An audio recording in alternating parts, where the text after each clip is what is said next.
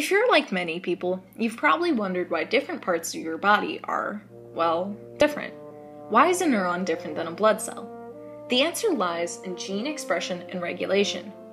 What genes are expressed and at what times make all the difference in how our cells appear and function. One of life's most powerful methods of controlling gene expression lies in histone modifications.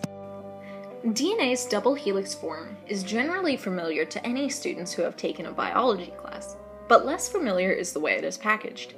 To put it in perspective, the DNA in each cell of your body is 6 feet long, and all of your cellular DNA would reach to the moon and back 150,000 times. This is quite obviously a problem. In order to condense all the DNA into that nucleus, DNA wraps around proteins called histones, which make up nucleosomes. Nucleosomes are positively charged proteins made of eight histones, also known as an octamer.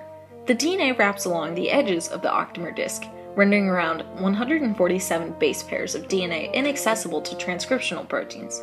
There are two copies each of histones H2A, H2B, H3, and H4, and each have different locations for chemical modifications that can cause direct changes or recruit other proteins that cause change. These nucleosomes wrap the DNA into a structure called a 10 nanometer fiber. However, the DNA coils up even further into a 30 nanometer fiber, in even more condensed forms after that.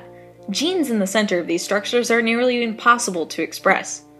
Thankfully for us, histone modifications can open up these difficult regions. Regulators of nucleosome function are crucial in allowing some DNA to be accessible, and even better, the modifications are easily removed and replaced.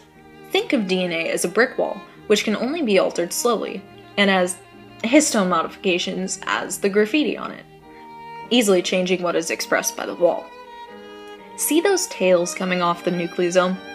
Those are chock full of positively charged residues that act as little tethers that loop through the DNA and bind it more tightly to the nucleosome.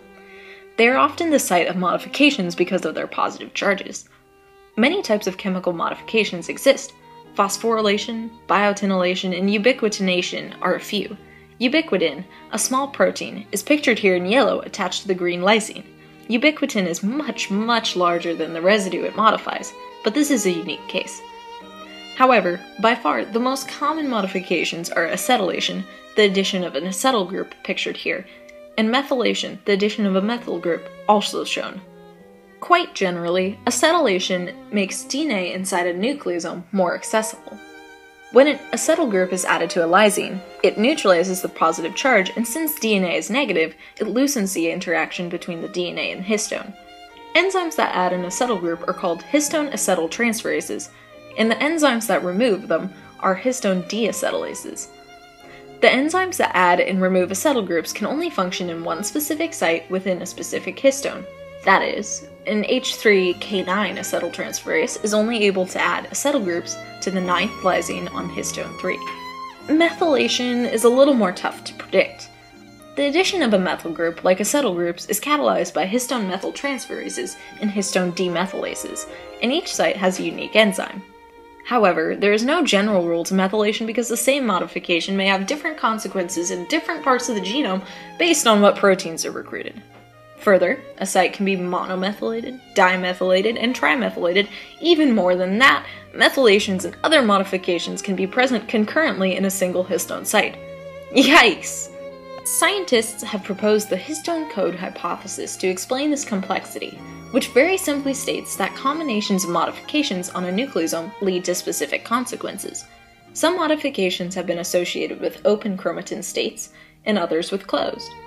However, it is likely that the histone code, if it exists, is, not a clear alphabet like DNA transcription, where a codon always codes for a specific amino acid.